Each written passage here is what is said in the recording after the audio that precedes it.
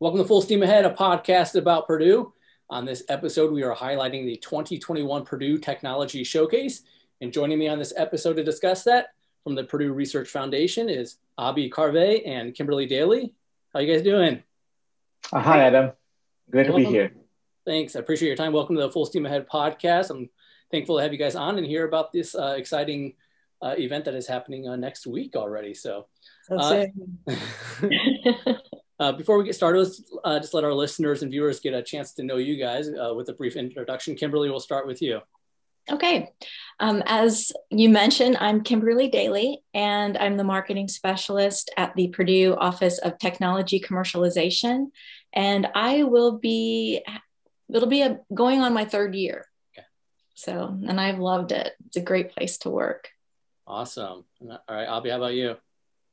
Uh, my name is Abhijit. Uh, go as Abhi, as uh, uh, as always, and uh, I'm the director of business development at Office of Technology Commercialization.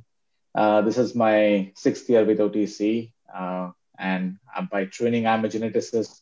Switch role to do business development about that time, awesome. and glad to be here. Awesome. Well, I'm so thankful to have you guys on today as we're uh, talking about the showcase. It's next week. I'm sure this has flown up on you guys. let's talk about let's talk about the showcase for those of us who don't know what it is. Kind of just uh, describe when it is. Like I said, next week. I guess I answered that. Uh, where it's at and and who it serves. Sure. So maybe I'll start, and Kim can uh, chime in about the you know history of the showcase. Sure. Uh, so uh, the showcase is basically a one of the avenues OTC uses to showcase the technologies that we are currently licensing. So these are all the great inventions and uh, discoveries that Purdue inventors have made uh, over the years. And we are looking for uh, someone to actually take those technologies from the lab and make them into a product and have those products in the marketplace. That's our that's our mission. We are driven by that impact by making that making sure that the Purdue technologies reach the hands of uh, companies and they can make them into products. So uh, this showcase is just one avenue of many uh, that we use to uh, reach out to the, the, masses and make sure that our technology is heard by several and relevant people. And then we generate some interest and uh, find some licensing leads. But in, on a, in addition to that, we also uh, are interested in people who just want to collaborate with Purdue inventors. So although the goal is getting licensing deals, uh, we also want people to collaborate. We want people to advance the technology that they have developed uh, all of that. And this is, I think, our third year. Uh, is that right, Kim? Mm-hmm. Yeah. So maybe if you wanted to talk about how it started and uh, our previous uh, track record of that, that'd be great. Well, this is my second year for the showcase. Last year was the first one that I actually put together. And of course, it was in person back in the day when we were all free to roam. and it was a really great event. We we made it very engaging. Um, we served a luncheon, so we had during the luncheon a panel where people could ask questions and really interact with with the team. And on that particular occasion, we had both life sciences and physical sciences all in the same day. So we were very back to back to back, and you know, there wasn't a lot of time for, you know, there was no lag time because you know one day for all of those technologies was was, you know, it was it was a lot. But we also had the availability of the the posters. So all of the inventors were able to come in early and set up their posters in the main atrium. So at any given time, the attendees could go roam around, they could talk to the inventors and really get the one on one and understand about the technology. And then, of course, collaborate further, scheduling further meetings out and meetings with our business development managers as well. Gotcha. Okay. Obviously, a, a large advantage to be able to do that in person Unfortunately, we're still dealing with the ongoing COVID 19 pandemic. Talk about the decision to, to hold this event virtually this year. So, we actually were going to have an in person event. Uh, we were thinking last May, and then right before that, COVID hit us. And so we were we had to postpone our planning and then it just turned out that we are not going to go anytime uh, soon uh, for an in-person event. So that's what prompted us, like several other organizations, to move this online. Uh, but it was a blessing in disguise, I would say, uh, in, in a way, because uh, it allowed us the opportunity to reach out to probably using the online platform to uh, those that often won't be able to attend the in-person showcase because of the, the logistical issues with the, or you know uh, with other uh, issues with travels and all of that that are involved. But now people can log in and uh, see the pitches uh, and get the same quality. can interact with individuals. So one thing Kim mentioned was last time we had these poster sessions where uh, you know, participants could interact with the inventors, talk about their research and all of that. Uh, we are trying to replicate that in an online form. So the online Philo, uh, they, like, you know, Philo portal that we are using actually allows you to create these individual rooms for the inventor. So inventor will have their personal space, if you will, and in that space they can have uh, hold meetings or have those discussions in front of a poster as you can in in-person event. So I'm pretty excited. It's it looks cool. Yeah. Well, you you mentioned you know, there are some positives. Obviously, I'm sure some challenges. You can talk about those in just here in a second. But uh, I guess yeah, positives and more people. I would assume can at, at least now attend this and have some at least form of access that would not otherwise be able to travel, right? Exactly. And then, are there any challenges to? I mean, you know, people probably you know want to show off their technology they probably want somebody to be able to hold it or play with it or or see it you know right up to their face talk about those challenges on that flip side of you know not be able to be there in person and i'll start on this and probably kim can kim can add to this so i think uh, one i mean i have been in this bd role for the last five years and uh, one of the things we always have uh, who are encouraged by uh, people having that one-on-one communication having that personal connection with Purdue or with the inventor and having hands-on on the technology or uh, with the PI. And with everybody going online, uh, that that level of interaction definitely reduces.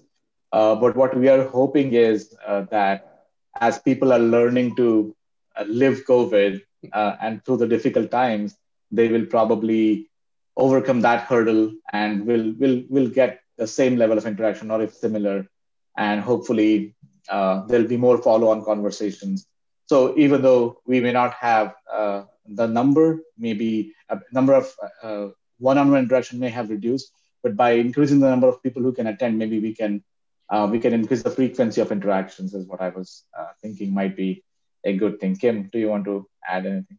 Definitely. Um, like you i think that you know the one-on-one interaction is so valuable and you really get to know someone and it's it's a little harder to get to know someone virtually although i think this is our new norm. So yeah i mean we're getting we're getting used to the remote but the advantage to it is people can attend from anywhere. If they are quarantined in their house, they can still attend this event where we wouldn't have that option if we had decided to go with a with an in-person event. And we certainly don't want to drive the COVID numbers up. And this is the safest way to do it. Yeah, and I imagine more inventors actually wanting to present. So it turned out to be really good. Yeah, I was gonna say, I bet that open at least opens the door again for more people who want to present as well as attend, uh, just mm-hmm. because of that, that virtual option. And I would assume uh, one of you maybe can answer this. You know, yeah, you might not get that hands-on, get up close, but now maybe you get a chance to spend a little more time focusing on a thing, or there could be potential follow-ups again virtually with follow-up Zoom interviews or whatever thing like that. I would assume, right? Yes, absolutely. Yeah, yeah. I think, and one other thing, Adam. I mean, just a, a you know, just to build on what just Kim just mentioned, uh, what it allowed us to do is uh, bring in about 60 presentations in over the period of two days. We were at about 30 last year. Mm-hmm. Uh, it also allowed us to partner with other institutions. So previously it used to be Purdue Technology Showcase. It is still, but this time we have IU and Notre Dame also pitching in some technologies.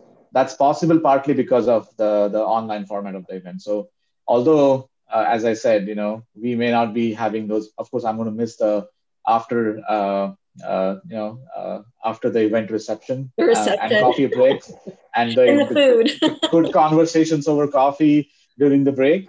Uh, uh, I wish we'll we'll make up for that by having more people uh, be in the attendance online. Yeah, and that, yeah, always a good way to find some positives there. Like you said, you're basically doubling the presenters. Since you mentioned it, let's jump to that question. IU, Notre Dame, and, and Crane Naval Base getting involved. Talk about looping other universities and, and companies into this as well this year.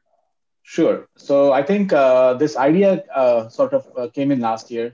So I, we the, the three Indiana schools have always collaborated with each other on different projects.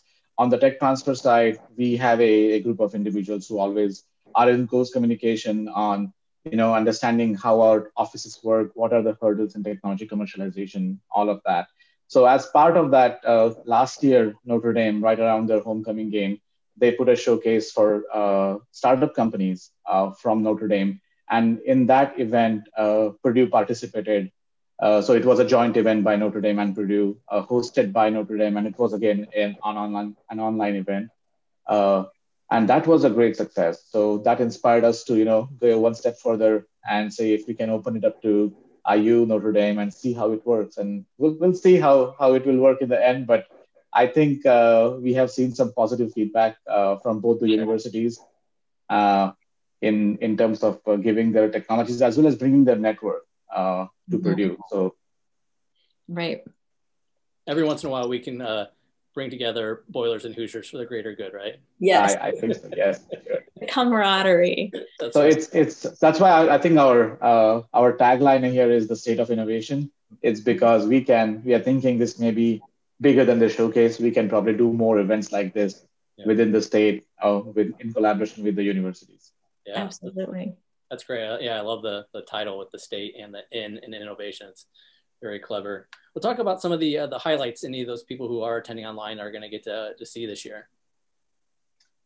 So uh, there's definitely uh, so instead of pointing out uh, one or two technologies, I'll say there are there are overall uh, nine different technology buckets, if you will, nine segments. Uh, as Kim mentioned earlier, there's a, a, a, one entire day for life science uh, and one entire day for physical science.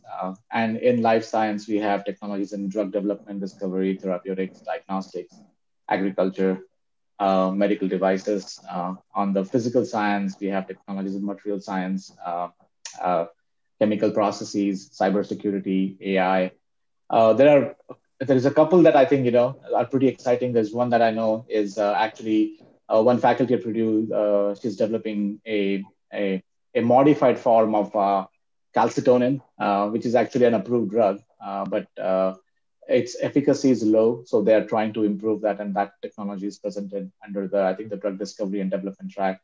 One more on the physical sciences, the another faculty in, in Purdue's industrial engineering, um, she is developing a, a, a cloud-based uh, supply chain management software. So uh, disaster relief uh, uh, can actually deploy that in case of national emergencies or uh, you know in climatic emergencies, mm-hmm. and then it could be deployed and can be used. So those are some of the ones that I'm pretty excited about, and we we will see good traction on that. Wow, sounds awesome! And then Kim, Kimberly, if if people are interested in, in joining this, uh, we're you know recording this here on February 3rd and go out uh, today. Um, people are listening to this and it's a, about a week away now. Where can they go if they're still interested in, in, in registering or being a part of this?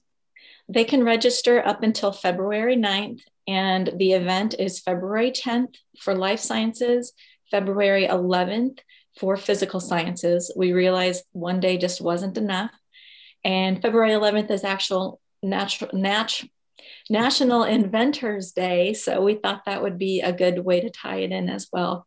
They can go to our website at www.prf.org slash OTC. There's a link right on our homepage. They can also go to tinyurl.com slash tech showcase 2021 and that will take them out to the registration page. Awesome. I will have a link for that on our website as well for anybody who's watching this uh, interview online. There will be links uh, below the video for that as well. People want to find it that way. Um, anything else uh, that I have left out that you guys want to mention? I can't think of anything. The, the one thing that that was kind of a, a curveball, I suppose, just just for our team is we thought it would be so much easier to plan a virtual event. And it is 10 times harder to plan a virtual event. So I recommend anyone who is going to plan a virtual event who have always had in-person events in the past past start a little earlier because it's it's definitely a lot. But i do think that it's going to be an amazing attendance and we have already had more people uh, signing up than we had in the past. So i do look for a lot of attendees and i, I assume uh, the door is already closed for presenters is that correct? Yes. Okay. And if somebody's listening to this and is interested in attending but kind of on the fence what would you say to them to convince them to uh, hey just take take a dive and, and jump in and, and check it out? I would say for them to definitely check it out and to contact us. They can contact otcip.com and ask us any question they want. We can certainly direct them to the right business development manager that can help them along. Maybe they don't even realize they have something that they can present. So I, will also add to what Kim said. Uh, what we are presenting at the showcase is just a uh, a drop in the bucket of the technologies that OTC markets at any given time. So if you're interested uh, and if you're not able to attend, our website is a good resource for you to look for technologies that are available for licensing. Um, and these are all great technologies. Uh, not all of them could be featured in the showcase, but uh, if you're interested, feel free to reach out to one of us or go to our website, find out uh, which technologies you're interested in, and contact us, and we'll be more than happy to talk to you. We have been, um, I mean, uh, OTC has, uh, in this difficult year of COVID, we were first hoping, you know, this, uh, uh, how are we going to pull off? Uh, but we have been striving and actually prospering in there. So, and it's a great work to the, our entire team that we are, we have been, even in this down year, we have been doing well. But also, it's also credit to all our licensees and people who are interested in working with OTC. So we look forward to uh, having more and more uh, people interested in us and Always. learning more about Purdue technology and license. For sure, definitely a very interesting uh, a matter there too. Uh, yeah, it's exciting. Uh, I hope everything goes well for you guys uh, next week, and look forward to uh, hearing about that and just seeing all the licenses or innovations and things that we will see out there uh, in this world following. Yes. Awesome. I'd like to th- yeah, just th- thanks Adam for this opportunity. I think this is this is great and uh, we look forward to having a great event. Yeah, my Thank pleasure you. to have you guys on and, and highlight this uh, important event. Uh, best of luck to you guys next week, and thanks for uh, joining the Full Steam Ahead podcast. Thank you. Thank you very much. Boiler up.